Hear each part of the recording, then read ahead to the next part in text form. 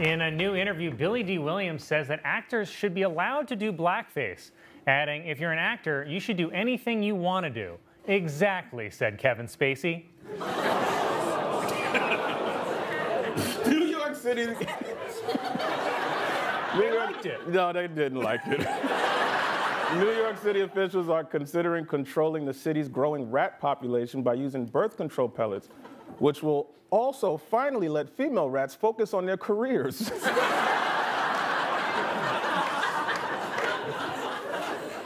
The, the TSA reports that in the first three months of this year, they've intercepted 1,500 guns in carry on bags, and the majority of them were loaded.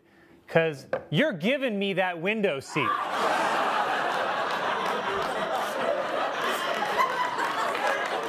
You're a stupid man.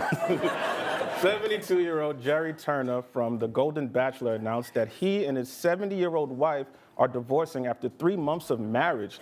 But like they say, there's still plenty of fish in the sea, Materi.